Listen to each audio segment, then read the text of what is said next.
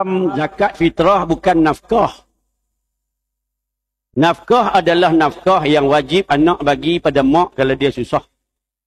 Zakat fitrah bukan nafkah. Zakat fitrah adalah zakat yang perlu setiap orang bayar sendiri. Apabila dia berkemampuan. Apa maksud mampu? Dia ada tujuh ringgit. Zakat ada tujuh ringgit. Ah, mesti ada lebih. Ha, mampu tu. Zakat fitrah tidak wajib seorang anak bayar zakat fitrah untuk mak dan ayah dia. Dan tidak pun dituntut. Bahkan tidak sah. Apabila seorang anak bayar zakat dekat mak bukan mak mentua mak sendiri. Tak sah apabila mak tu mampu. Bagi mak yang tak berkemampuan dia duduk dengan kita dan kitalah yang membiayai makan, minum, pakaian segala-galanya waktu tu baru kita bayar zakat untuk dia Walaupun kamu baik seorang anak, saya tahun ni nak bayar zakat kat mak saya lah. Saya berebutlah ada 10 beradik. Ha, tahun ni cabut undi bayar. Tak sah siapa suruh bayar. Mak kamu ada duit. Pencin, pakcik usuk, duit belambak. Ha. Pakcik Johan, beli rata cash, duit belambak. Ha. Anak nak tunjuk baik bayar. Saya bagi duit bulan ni. Zakat fitrah. Tak bayar-bayar. Begitu juga seorang ayah tak perlu bayar zakat fitrah untuk anak dia yang sudah bekerja. Bahkan tak sah. Dan dia perlu bayar sendiri. Kecuali dia malah pergi bayar. Dia bagi tujuh ringgit. Ayah tolong bayar. Wakil bayar boleh. Eh? Dan mesti guna kata dia. Tak boleh guna kata ayah. Tak boleh. Itu so, zakat fitrah. Zakat untuk diri sendiri.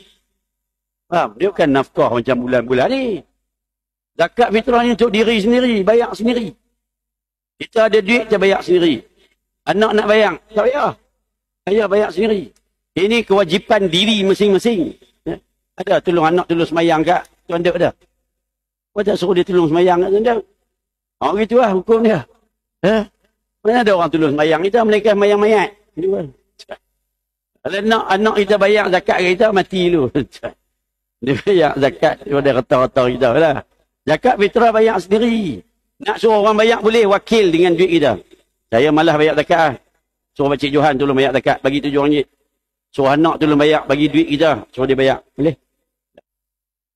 Ha, dia zakat fitrah ni pun ramai yang bermasalah dari sudut kefahaman dia lah. Sudut kefahaman. Ya ke?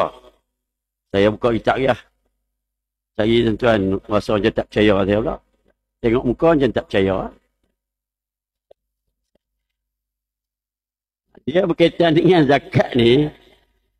Zakat fitrah ni, tuan-tuan kena faham betul-betul ni. Eh? Ha. Boleh? Ha, tu dah jadi duit pakcik, bukan duit dia. Dia dah bagi pakcik. Pakcik tak mau bagi kat saya, jadi duit saya. Ha, dia gitu. Ha? maka dia, bila anak bagi kat kita, jadi duit kita. Baik, bilakah anak wajib menanggung zakat fitrah untuk ibu bapaknya?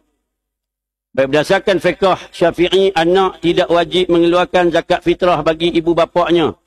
Kecuali jika ibu bapaknya fakir atau miskin. Di mana nafkah sara hidup mereka menjadi kewajipannya ketika itu. Kalau mak mentua tadi, tanya tadi, mak mentua tu tak ada apa lah, susah. Maka duduk dengan anak, Anak tu lah bayar semua makan, minum, pakai semua. Dia fakir, miskin. Ha, maka kita lah bayar dekat. Dekat dia. Yang jaga tadi ni, yang tanya tadi ni. Sebab kamu yang menanggung dia. Tapi kalau anak-anak dia yang tanggung sebab dia fakir, miskin, anak dia lah bayar dekat. Kalau anak pun tak ada, seorang tu ya, menantu yang tanggung. Menantu lah bayar. Kalau dia kena tengoklah fakir miskin, fakir miskin. Apa gelang ni, satu. Mak mentua gelang satu. Dua belah ribu. Hmm.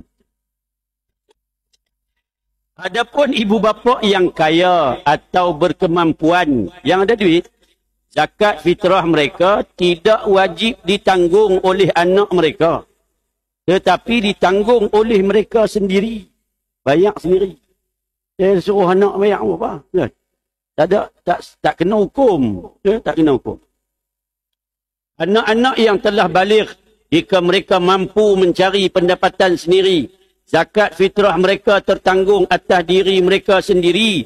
Bukan atas bapa atau penjaga mereka. Malah tidak sah bapa atau penjaga mereka.